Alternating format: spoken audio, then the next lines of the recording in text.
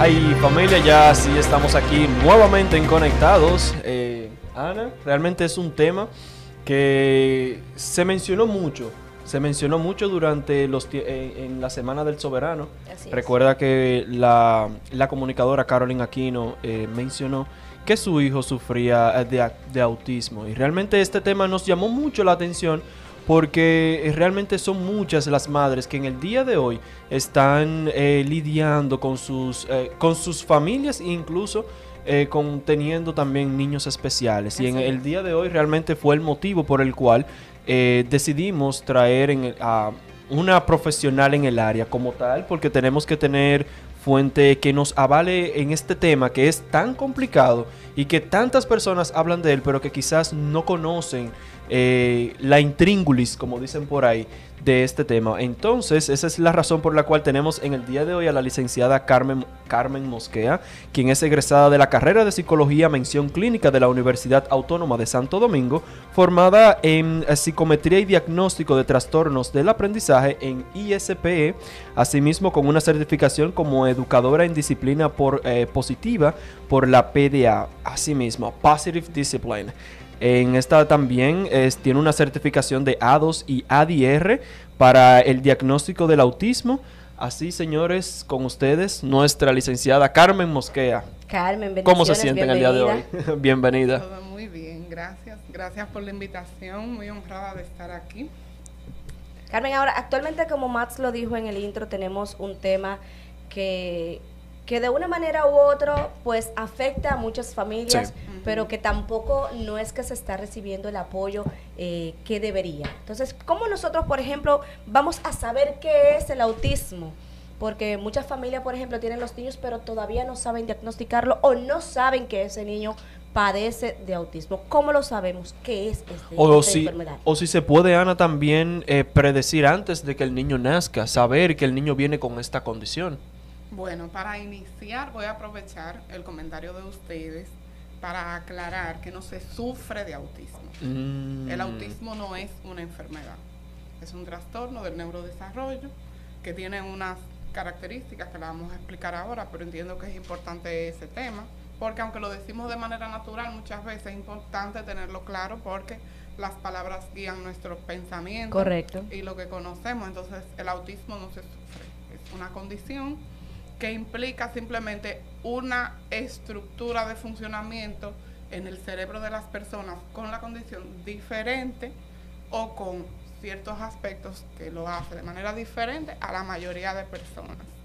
Entonces, eso comenzando por ahí, eh, ciertamente, aunque sí, claro está, sabemos que es un tema bien difícil para muchas familias. Hay muchas razones detrás de eso sí podríamos decir que es cierto lo que tú comentabas, Ana, de que el acceso es difícil por muchas razones, pero em, aparte de ese aspecto, que tiene que ver con lo estructural, con la disponibilidad de los servicios y demás, hay un tema importante que dificulta más y que hace la diferencia con estos procesos y es que tanta información y que tanto tanta comprensión hay sobre el tema, porque el estigma dificulta muchas veces, mucho más que un tema de la disponibilidad. Actualmente hay más lugares disponibles, el costo va a variar. A nivel público sí tenemos pocas opciones, porque la única opción a nivel público disponible es la del CAI. Y, tiene, y hay una limitación, eso todos lo sabemos, pero si hay algo que yo siempre trato de, invitar, en mi caso como profesional, es que lo más importante es la disponibilidad de la familia a entender qué ocurre y a atender a tiempo. Entonces, para ir como a lo concreto, vamos a entender de qué se trata. El autismo o trastorno del espectro autista, como es el término actual, bien, es el, es el término aceptado actualmente, es un trastorno del neurodesarrollo que se caracteriza principalmente por una deficiencia bien, eh, una deficiencia importante, tanto a nivel de interacción social, es decir, en los patrones de interacción social, comunicación social, que lo vamos a explicar en un momento, o sea, no se trata de que el niño hable o no sino que es algo más complejo.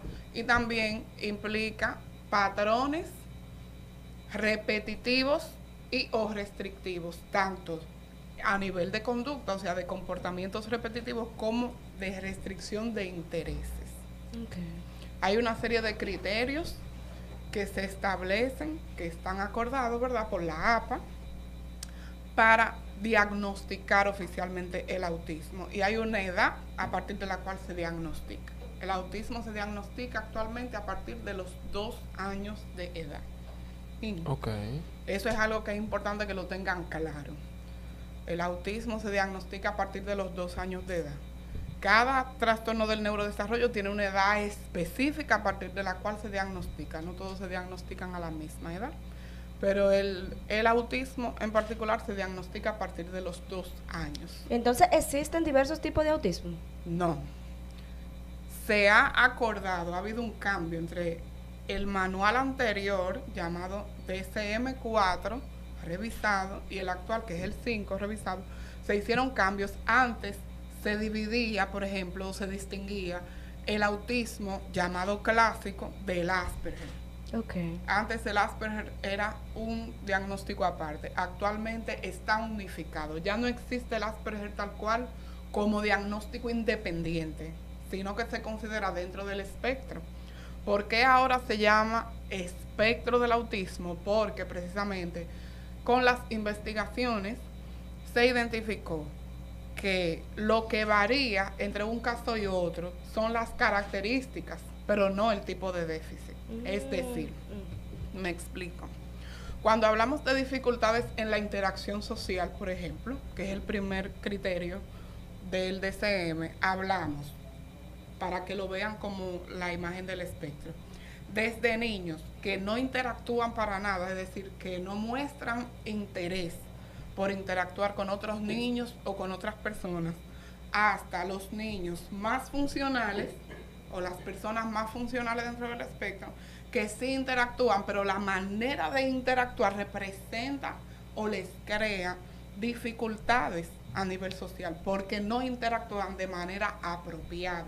Por ejemplo, hay casos que me pasa mucho, es muy común, cuando los padres tienen dudas si el niño o la niña tiene está dentro del espectro. No me suenan porque es que él juega con otros niños. Ok, ¿cómo él se acerca? O cómo ella se acerca. Cuando juega, que usted le observa, se integra a lo que están haciendo los niños, es decir, va con entusiasmo, se acerca en la dinámica social, muestra interés por lo que hacen y busca integrarse o aunque esté dentro del grupo de niños, está jugando en su parte. O sea, ahí vendríamos diciendo, por ejemplo, que si se mantendría aislado de, de, la mezcla con los demás niños. Exacto, el aislamiento no implica solamente irse a una esquina, que es la imagen que la gente tiene del autismo clásico, como que el niño se va a una esquina, no el niño puede estar jugando dentro de un grupo de niños y estar aislado dentro del grupo. Como dicen, dentro de su mundo. Sí, porque no está interactuando con los demás niños. Otras veces el niño sí muestra interés de acercarse cuando juegan algo que le interesa. Mm. Ahí, ahí se mezcla con la parte de lo que les comentaba al principio de la restricción de intereses. Porque tal vez juega, pero solamente juega ciertos tipos de juegos. No, el interés no es estar con los amiguitos, sino que ellos están jugando algo que me gusta. Le Si juegan algo que no me gusta, yo me aparto. Con esa explicación que usted acaba de dar, entonces podemos decir que realmente no hay diferentes tipos de autismo, pero sí hay características distintas que se puede manifestar el autismo. Hay diferentes maneras en las que se pueden manifestar los niños dentro del espectro. Y Como hay niños que no muestran ninguna emoción, a nivel de su rostro, que tú los miras y dices, no sé si está triste, si está contento, si nada. Hay otros niños dentro del espectro que muestran emociones muy bien, perfectamente, que sonríen, que sí disfrutan, eh, que muestran interés de estar con otros niños, que muestran afecto. O sea, es bien importante para, para dejar eso a las personas que nos están viendo y que nos van a ver luego en diferido, que nos saquemos de la mente la idea de que el autismo se ve de X forma, porque el autismo se ve de muchas maneras. Por eso se llama espectro del autismo. Y ahí, dentro de las variantes, también tenemos que mencionar que el autismo se puede presentar combinado con otras condiciones de salud mental. Y ahí se complica. Eso era lo que iba a preguntar. Esa era mi pregunta porque veamos entonces la parte del autismo. Ya usted decía que realmente se representa de diferentes formas, pero hay niños que son agresivos, Mm, otros que no lo son. exacto. Entonces, ¿cómo se manejan en, ento- en este to- en este ¿Cómo entorno? lidiar? ¿Cómo lidiar esos niños y cómo identificar qué es lo que mejor le conviene a un niño que, eh, por ejemplo, sea agresivo con este tipo de condición? Por eso es que es muy importante que entendamos el valor de cuando se recomienda evaluación. Por ejemplo, regularmente los niños que me llegan a mí a consulta de evaluación vienen referidos por pediatras, por neurólogos, por psiquiatría, depende la escuela que es muy común. Bien, es raro que llegue por motus propio mamá o papá. Regularmente es por recomendación. Entonces, es bien, bien importante que no subestimen las recomendaciones, que es donde hay muchas veces el punto de resistencia. Hay mucha resistencia ¿por qué? porque hay temor al diagnóstico. Tenemos ah, estigma Ese sobre miedo, el diagnóstico. miedo hay un miedo al autismo y es importante que no le tengan miedo al autismo. No hay motivo para tenerle miedo, porque cada caso es diferente. Claro está. El principal miedo de toda madre y todo padre es que le rechacen su hijo. Entonces el, el miedo radica ahí. Ahora, cuando no atendemos a tiempo al profesional, si me derivan a evaluación, mientras más tarden en recibir el diagnóstico, más complicado es el pronóstico a largo plazo, porque el autismo, así como no es una enfermedad, es un trastorno del neurodesarrollo, no se quita en buen dominicano. Pueden escuchar personas con muchas muchos planteamientos, ofreciendo soluciones eh, mágicas. El autismo no se quita porque no es una enfermedad. Como dijimos al principio, es un trastorno del neurodesarrollo. ¿Qué significa eso? Que la Wow. forma Wow, en la que espera, desarrolla, Para mí eso se Yo he o sea, caído. espérate. se- no, no. lo es- voy a platanar para que Espérate, eso quiere decir que yo eh, puede vivir una persona con autismo toda su vida desde su nacimiento puede hasta no, que es que eso es lo que va a pasar. no. O sea, basado en va a y vivir demás. toda su vida con esa condición. Oh, wow. Wow. Entonces, ¿por qué es importante? Eso es lo primero que hay que saber. Es muy importante eso, porque siempre hay la esperanza de, ah, de que algo se le quite. El autismo es algo con lo que se aprende a vivir, igual que la diabetes. Bien, igual que otras condiciones de salud Chanfle. que implican un tema de base, de formación. Es como su cerebro se forma. Ajá. Bien, no hay causas específicas identificadas, de decir, esto causa el autismo. No hay causas identificadas aquí para quien me oiga ahí. Ahora, sí, como toda condición de vida biológica, hay bases genéticas que están en investigación todavía. Hay planteamientos de científicos que relacionan el autismo con temas cromosomáticos, pero todavía esto no es, eh, ¿cómo se dice? Todavía no es oficial, porque eso Oficial. está en proceso. Ahora sí se sabe que hay una probabilidad que aumenta de que ocurra el diagnóstico de que un niño en la familia surja con la condición cuando ya hay otro niño u otro familiar con la condición, aunque no se haya dado. Entonces, para volver al punto principal que tú hacías la pregunta, hay que evaluar. Cuando se deriva a evaluación y su médico, su pediatra, su neurólogo, su psiquiatra, la escuela le dice, lleve el niño a evaluación porque sospechamos que tiene autismo, llévelo. Aunque usted tenga miedo, llévelo. ¿Por qué? Porque de la evaluación depende identificar específicamente qué tipo de apoyo necesita el niño o la niña. Ya en la clasificación del autismo actual, por eso no existen los términos de gravedad. Es una pregunta muy común en consulta. Doctora, ¿cuál es el nivel de gravedad del niño? ¿Cuál es el nivel de severidad? Ya no se habla de nivel de severidad, se habla de nivel de necesidad de apoyo, que va de apoyo leve, apoyo moderado, a mucha necesidad de apoyo. Es, así como se clasifica ahora. ¿Por qué se clasifica así? Respondo la pregunta. Porque eso del nivel de severidad varía, va a variar. Que el niño cuando llegue o, o la niña a evaluación o a terapia ya con el diagnóstico, tenga un nivel de severidad X a nivel de conducta, eso cambia, eso va a variar en el tiempo, porque como es un trastorno que afecta principalmente la escala social, es decir, lo que nos hace seres humanos, que es la manera en cómo nos relacionamos, a medida que los niños crecen, el nivel de necesidad social cambia y aumenta. Por eso hay niños que cuando están pequeñitos, reciban o no el diagnóstico pequeño, muchas veces no se dan cuenta porque el niño pasa desapercibido, como que no, yo, él siempre fue bien, siempre, y llega a una edad en el que la gente le da la impresión como que el niño se desató, no sé qué le pasó, empiezan a pensar, bueno, tal vez se dio un golpe y por eso se puso así. No. Si no venía con o, la, o, la, madre se cayó durante el embarazo, siempre piensan eso también. Los mitos. Pero que cuando, cuando el comportamiento cambia bruscamente en los primeros 5 o 6 años de vida, es buscamos muchas veces esas excusas, ¿verdad? Buscamos razones para, para entender. Ah, se dio un golpe. No.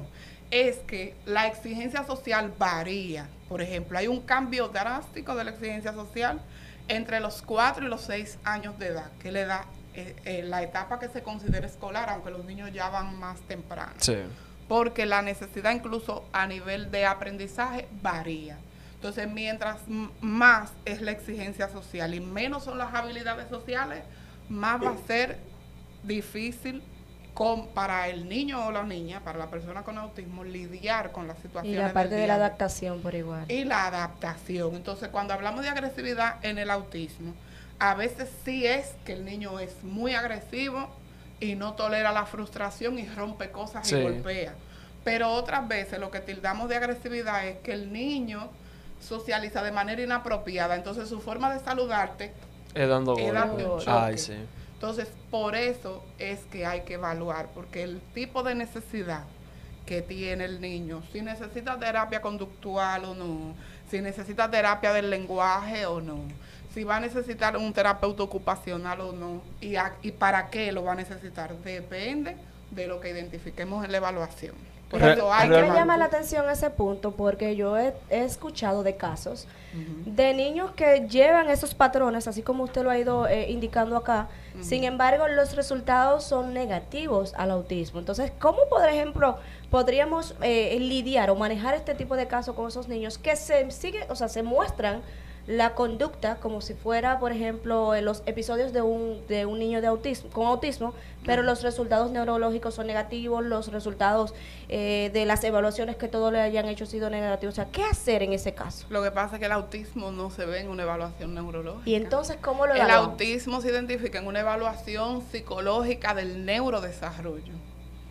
Ahora, el médico da signo de alerta porque por los comportamientos, evidentes, conociendo el diagnóstico, identifica signos de alerta, que eso es lo que, como lo dice el término, valga la redundancia, le da la alerta y dice, mamá, mire, llévelo a evaluar porque yo identifico dos o tres rasgos que ya me hacen pensar en el diagnóstico, entonces hay que derivar evaluación psicológica, porque en una resonancia o en un electroencefalograma no sale. Ahora, siempre como quiera, yo entiendo que es difícil, a veces no se tienen los recursos, pero uno tiene que hacer el esfuerzo. Yo le exhorto de verdad que no se, no se agarren en las excusas de no tengo el dinero para ver el médico o al psicólogo. Hagan el esfuerzo porque honestamente para otro tipo de cosas encontramos la manera para hacer el esfuerzo. Y es bueno. Entonces hay que hacer, y discúlpame, ¿por qué? Porque el autismo, como te decía ahorita, y no quiero que eso se quede porque va dentro de lo del diagnóstico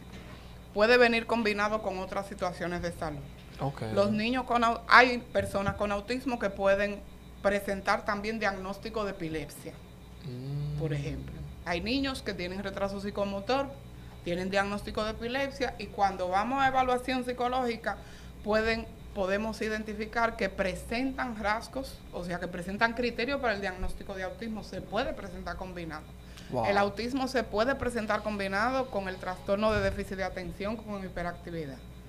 Y muchas veces se confunde también con este diagnóstico.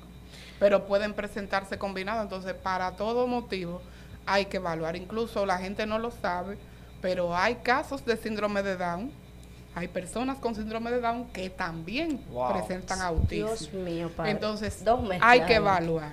Hay Eso- que evaluar, hay que hacerle caso a su médico y hay que hacer los procesos. Wow, Muchas este madres- tema, mira. No, mira, muchas madres quizás no están preparadas para esta situación porque en primer lugar no tienen eh, incidencias hereditarias en su familia que, Que puedan sepan. presentar eso, que sepan. Que sepan. Pero finalmente ya, ¿usted cómo le da un mensaje? Por ejemplo, en el día de ayer, y es coincidencia que estamos hablando del tema, mi- una compañera de trabajo estaba diciendo, yo tengo miedo de que al momento de que yo quede embarazada, mi hijo salga con una, co- eh, una condición y mencionó el autismo o cualquier otro síndrome. Entonces, ¿qué mensaje usted le da a esas, a esas futuras madres que realmente anhelan un bebé y que tienen como esa, esa, esa pequeña pena de pensar en que, ¿y si mi hijo nace con tal condición? ¿Qué mensaje usted le da a esas Sí, ya un futuras breve madres? que, que estamos contra el tiempo. Claro. Como yo les decía, yo entiendo perfectamente el temor, porque el principal temor es que no quieren que el niño o la niña tenga ninguna limitación a lo que merece y a lo que desearía. Pero mi recomendación es que no le tengan miedo al diagnóstico, porque si atendemos a tiempo, sobre todo a edad temprana, los primeros dos años, tres, el pronóstico es muy bueno a largo plazo. Mientras más temprano Muy se detecta, el aportación. pronóstico es mucho mejor. Y lo segundo es que es importante que papi y mami sepan que no hay niño perfecto. La idea de niño perfecto la tenemos los adultos por una serie de estructuras que desarrollamos en nuestra personalidad, por nuestras experiencias de vida y que en el fondo es un mecanismo de compensar cosas que yo pienso que me hicieron falta o que yo no hice bien o que no hicieron bien conmigo. Entonces tenemos esa fantasía de cuando tenga mi niño, eh, quiero que las cosas se den de Sean tal y tal forma. Pero no hay niño perfecto porque no hay mamá perfecta, Así ni hay papá perfecto. Aprendemos en el proceso y aprendemos en el camino. Y lo principal que todo niño necesita es sentirse amado, cuidado, guiado y atendido. Y que se le cumplan todos sus derechos.